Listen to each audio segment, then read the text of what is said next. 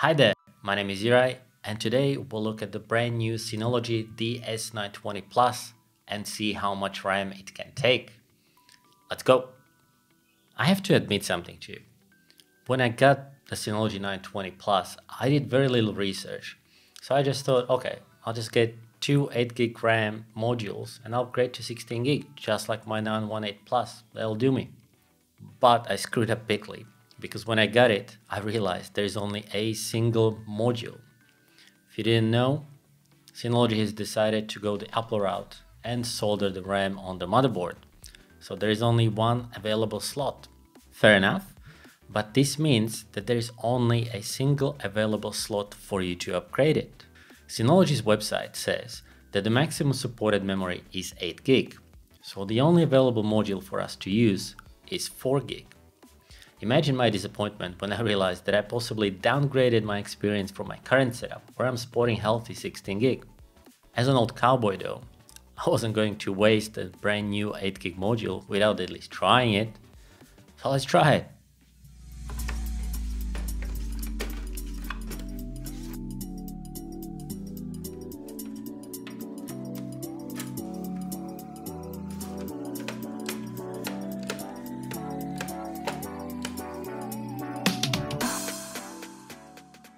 To my surprise, it booted up like a pro and has been humming for a week without an issue.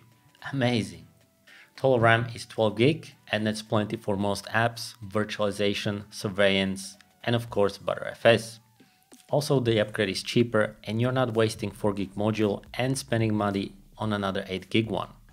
But this got me thinking, what if I try and put one 16 gig module instead?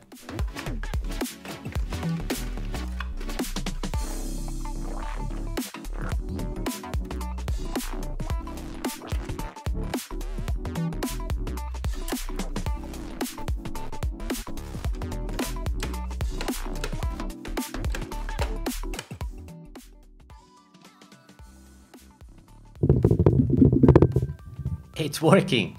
I could not believe that it started up. So there you have it. 16 gig module is not an issue and the DS920 Plus will take it like a champ. My theory is that Synology doesn't want to jeopardize sales of their higher tier systems for SMBs and enterprises that have more slots and allow for more supported RAM. But for warranty purposes, you might need to downgrade to 8 or 4 gig, sort out the issues, and then upgrade back to 20 gig. Happy days! Let me know in the comments below what videos would you like me to make with 920 plus and subscribe for more. Thank you for watching. Juraj out.